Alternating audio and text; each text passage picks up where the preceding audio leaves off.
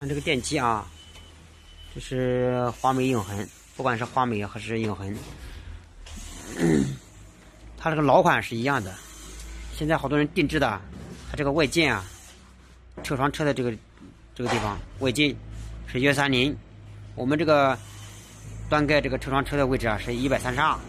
一百三十二的，这是老款的，老款的，它这个线圈。用的多，老款的这里面线圈线圈多嘛？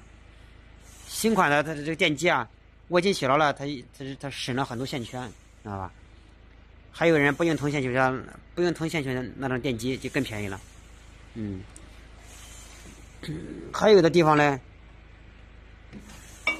它这个外表看上去是一样的，颜色是一样的，其实它是铁的，时间长了它会生锈的。端盖换成铁的。还有把这个机线盒也换成铁的，另外把这外径也换小，这样电机都是那个定制的便宜款。嗯，不好的地方在哪里呢？就是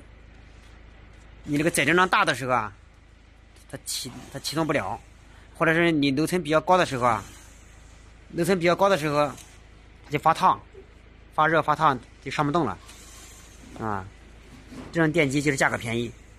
但是我们这个老款的幺三二的，我已经幺三二的，这里也是铝合金了，这是铝合金，像这种电机就不会了，老款电机就不存在这些现象了。